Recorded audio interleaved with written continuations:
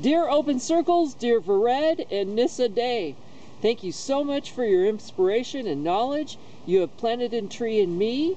Now please let me plant a tree for you, so this world becomes more beautiful. With love, Oscar Balthuis. Gracias Open Circles, paz, amor y buenas cosas.